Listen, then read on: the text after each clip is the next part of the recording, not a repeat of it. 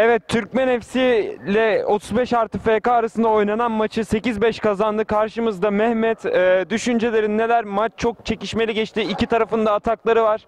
Ee, ama galip taraf sizdiniz. Düşüncelerin? 4-1 öne geçtiler. Maç sona girdi. Ben emindim ama yeneceğimize. 8-5 bitti işte. Takımı takımımız iyi de oynadı. Başlarda alışamadık birbirimize. 4-1 zaten öndeydiler. 8-5 yendik işte. Takım arkadaşlarımın ayağına sağlık karşılığında. Teşekkür ederim. İyi akşamlar.